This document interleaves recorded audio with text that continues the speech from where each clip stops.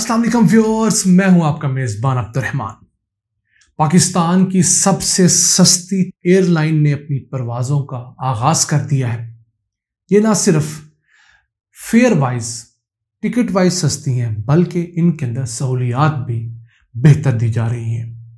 आपको उसका बताएँगे और आज अंडर डिस्कशन लाएँगे कि किस तरह पीआईए एक सफ़ेद हाथी बना, जबकि दुनिया की इससे छोटी एयरलाइंस इससे ज़्यादा जगह पर लोगों को पहुँचा रही हैं और बड़ा अच्छा नाम कमा रही हैं। पहले चलते हैं फ्लाई जना की जानब, जो कि एक सस्ती एयरलाइन है, टिकट के हिसाब से। इन्होंने इब्तदाई तौर पर तीन जहाज़ों, तीन एयर बसेस से पाकिस्तान में अपनी सर्विस का बाकायदा आगाज़ कर दिया है। पहली फ़्लाइट कराची से इस्लामाबाद पहुँच गई है। कराची, इस्लामाबाद, लाहौर, पेशावर और कोयटा के शहर ये एयरलाइन कवर करेगी। इसमें फ्यूल एफिशिएंट जहाज़ हैं एक सौ चौहत्तर सीटों वाले और इसके अलावा जो दौरान प्रवास है एंटरटेनमेंट का सिस्टम भी है।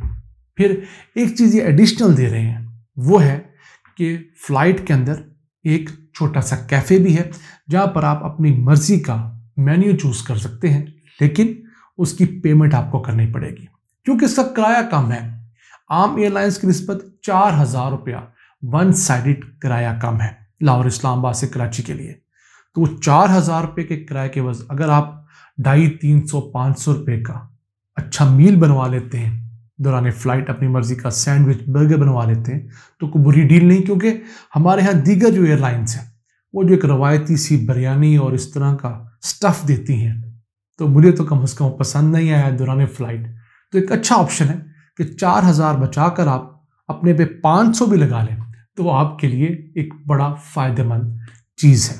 अब, इन एयरलाइंस के आने के बाद पाकिस्तान के अंदर एक नई थ्रिल आई है एयर इंडस्ट्री के अंदर। क्यों?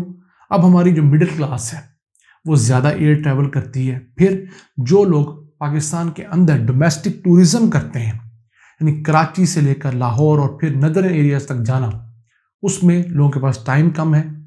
बाई एयर लोग जा सकते हैं। बाई एयर लोग आना चाहते हैं। ऑप्शंस कम थे। तो अब इन ऑप्शंस के बाद पाकिस्तान में एविएशन इंडस्ट्री को फ़ायदा होगा। लोगों को रोज़गार मिलेगा। जो आम लोग हैं, उनको मुसाबकत की वजह से अच्छी सर्विसेज़ मिलेंगी। लो फेयर मिलेंगे। तो पाकिस्तान में एविएशन इंडस्ट्री जो कभी तगड़ी नहीं हो सकी, वो तगड़ी होगी। अब इस एयरलाइन का माहा एयर अरेबिया नामी एक मिडल ईस्ट की, बल्कि शारजा की एक एयरलाइन से है।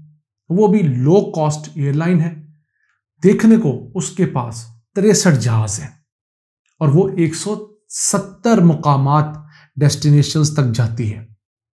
हमारी पीआईए के पास सिर्फ़ 32 जहाज़ हैं और हम 26 डेस्टिनेशन तक जाते हैं। हमारा नेशनल कैरियर सिर्फ़ 26 डेस्टिनेशन तक जाता है। उनका छोटा सा कैरियर एक शारजा की अपनी प्राइवेट एयरलाइन 170 डेस्टिनेशन तक जाती है। फिर, उनके यहाँ मुलाजमीन की तादाद कितनी है? एक हज़ार तीन सौ तिरपन। हमारे यहाँ मुलाजमिन की तादाद अब भी आठ हज़ार एक सौ पचास है। अगर हम पर एयरक्राफ्ट रेशो कैलकुलेट करें कि एक जहाज़ पर औसतन कितने मुलाजम रखे हुए हैं तो उन्होंने एक जहाज़ के बीस मुलाजम रखे हैं। पी आई पीआईए में एक जहाज़ के एवज दो सौ चौवन मुलाजमीन है। और अभी ये शरह आदि हो गई है। 2017 तक ये शरह साढ़े पाँच सौ मुलाजमीन फ़ी जहाज़ थी, जो दुनिया की हाईएस्ट शरह थी। 2017 में इतने ही जहाज़ थे पीआई के पास, और हमारे पास मुलाजमीन कितने थे? साढ़े सोलह हज़ार। अब जाकर उन मुलाजमीन की तादाद में आठ हज़ार चार सौ की कमी वाकई हुई है और अब वो आठ हज़ार एक सौ रह गए हैं। तब जाकर वो साढ़े पाँच सौ से दो सौ चौवन हुए हैं। अब ये मुलाजमीन कम कैसे हुए? जो गुज्त मैनेजमेंट थी, उन्होंने बड़ी मेहनत की और उन्होंने तमाम मुलाजमीन की डिग्रियाँ जो हैं, वो एच से और बोर्ड से वेरीफाई करवाई। तो पता लगा, आठ सौ सैंतीस मुलाजमीन की डिग्रियाँ ही जाली हैं। उन्हें फौरी तौर पर नौकरियों से बरतरफ कर दिया गया। बहुत अच्छा इनिशिएटिव है। उसके बाद 1100 मुलाजमीन ऐसे थे जो या तो करप्ट थे या नौकरी पर आते ही नहीं थे या डंडी मारते थे, कहीं और जॉब करते थे, यहाँ पर गोस्ट एम्प्लॉयज़ थे। इस तरह की माल प्रैक्टिस में करप्ट प्रैक्टिस में इन्वॉल्व थे तो 1100 अफराद वो भी निकाले गए। तो मजमू तौर पर तकरीबन साढ़े उन्नीस सौ अफराद इन दो नंबरियों की वजह से तीन सालों के अंदर निकाले गए, जो कि कुल वर्क फोर्स का 12 परसेंट बनता है, कोई थोड़ा नहीं। इन लोगों को निकालने की वजह से पीआईए को हर साल आठ अरब रुपए का मुनाफा होने लगा यानी कि उनकी जो पहले सैलरीज ज़्यादा थी, अब वो आठ अरब रुपए की बचत होने लगी है पर्क्स में सैलरीज की वजह में फिर हर साल पीआईए में रूटीन के अंदर 800 से 900 अफराद जो हैं रिटायर हो जाते हैं, अपनी उम्र पूरी कर लेते हैं। तो इन पाँच सालों में साढ़े चार हज़ार मुलाजमीन जो हैं, रिटायर भी हुए। और इसके अलावा 1900 मुलाजमीन ने गोल्डन हैंडशेक लिया, वॉल्टरली रिटायरमेंट, अर्ली रिटायरमेंट ले ली। तो इस तरह मजमू तौर पर 8300 मुलाजमीन जो हैं, वो सिस्टम में से निकल गए। और आठ अरब रुपए का फ़ायदा हो रहा है हर साल। अभी भी जो हमारी शरह है पीए के अंदर मुलाजमीन की वो ज़्यादा है। तो अब जो एक्सपर्ट्स हैं, उनका कहना है कि हमें अपने 32 जहाज़ों के बेड़े को अगले एक दो साल में बढ़ाकर 45 जहाज़ों तक लाना होगा। और इन 45 जहाज़ों के एवज जितनी हमें लोगों की ज़रूरत है, वो इन 8000 की बजाय सिर्फ़ पचपन सौ लोगों की ज़रूरत है। यानी कि एक जहाज़ के लिए हमारे पास सिर्फ़ सवा सौ बंदा 125 बंदे हों तो वो काफ़ी है। इससे ज़्यादा जितने लोग होंगे, वो हमारे नेशनल कैरियर के ऊपर बर्डन है।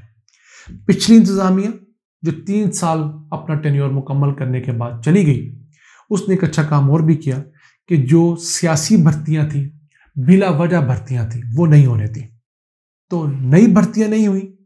पुराने लोग रिटायर होते गए, जो अच्छे थे वो रिटायर हो गए। अच्छों में से जो लोग जल्दी रिटायर नहीं हो रहे थे, उनको जल्दी रिटायर होने के एवज गोल्डन हैंडशेक दिया गया। उसकी वजह से भी बर्डन कम हुआ। फिर करप्ट लोग 1900 जब काली भेड़े सिस्टम से निकल गई तो वो 1900 लोग नहीं निकले, वो कम अज कम तीन चार हज़ार लोग इनडायरेक्टली निकले, क्योंकि उन काली भेड़ों की वजह से सिस्टम मजीद खराब हो रहा था।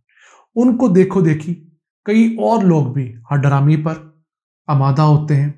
माल प्रैक्टिस में शामिल होते हैं। लेकिन जब इस तरह के जो सिक्का बंद मुजरमान, मुलजमान को आप निकाल देते हैं तो जो छोटे मुलजम होते हैं, जो छोटे मुजरम होते हैं छोटी छोटी चोरियाँ करने वाले इवन आप टाइम में भी चोरी करते हैं, आपका आठ घंटे का टाइम स्लॉट है जॉब का, आप सात घंटे काम करते हैं, एक घंटा चोरी कर लेते हैं लेट आते हैं, जल्दी चले जाते हैं तो वो भी चोरी है बदयानती है। क्यामत के रोज आपको उसका भी जवाब देना होगा। क्यों? आपने आठ घंटे का पैकेज लिया है, आठ घंटे की सैलरी ली है। तो सात घंटे देना, कोई और चीज़ें करना, किसी से कह के अपनी हाजिरी लगवा देना, छुट्टियों को मैनेज करवाना, इन कामों से हमें अपने ऑफ़िस में, अपनी प्रोफेशनल लाइफ में इज्तनाब करना चाहिए। क्योंकि बदयानती कहीं भी हो, अल्लाह ताला के साथ और हमारे दोनों कंधों पर मौजूद फरिश्ते उन्हें ज़रूर लिख रहे होते हैं। आज के लिए इतना ही। अपने मेज़बान अब्दुलरहमान को इजाज़त दीजिए। अल्लाह ने के बाद